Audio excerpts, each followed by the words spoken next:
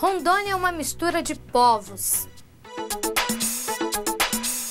Eu nasci em São Paulo, na capital.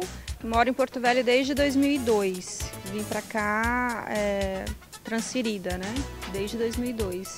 Sou de Bajara, Ceará e moro aqui há quatro anos, em Porto Velho, Rondônia. E esse é só um pedacinho do Brasil, um país imenso de tamanho e recheado de diferenças nas roupas, danças, comidas, crenças, um país de diversidade cultural. Na culinária, cada cantinho do país tem um tempero próprio.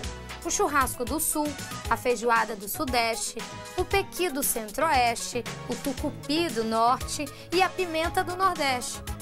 Principais disseminadores da cultura brasileira são os colonizadores europeus, de quem herdamos a língua portuguesa, lendas folclóricas e os deliciosos pratos à base de bacalhau. A população indígena, conhecida pelos costumes que se mantêm ao passar das gerações, o respeito com os mais velhos, os rituais e cerimônias com muita dança e comida, a caça e a pesca.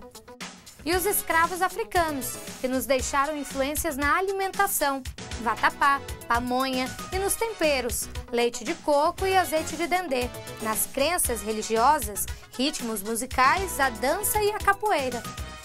E não é só o Brasil que é rico em manifestações culturais. Os costumes, sotaques e manias são diversos no mundo inteiro. O Brasil é o país do futebol, do carnaval. A China tem culinária mais rica do mundo. Inclui insetos, ratos selvagens e até cachorro no cardápio.